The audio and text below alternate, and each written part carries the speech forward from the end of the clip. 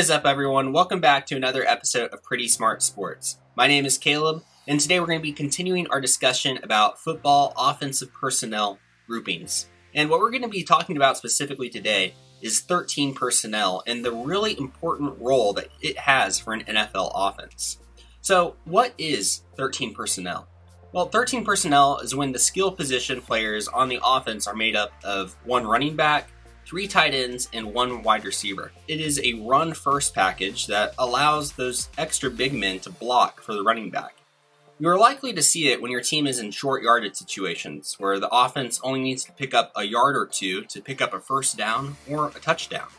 But it's also common to see play action, where the offense will catch the defense overcommitting to the run, so they'll fake a handoff to the running back and then pass the ball to what is usually a wide open receiver. This personnel grouping wasn't used very often in 2020, only about 4% of the time. But that's because it is really only effective in those short yardage situations. Hopefully, if you see 13 personnel on Sunday, your team is going to do everything that it needs to to pick up those few extra yards and move the chains or score a touchdown. But if you want to keep learning more about other offensive personnel groupings, please subscribe to our channel. We're going to be telling you even more things about football and about some of your other favorite sports. Also, please like and comment below. Go follow us on Twitter so you can stay up to date with everything that we're doing.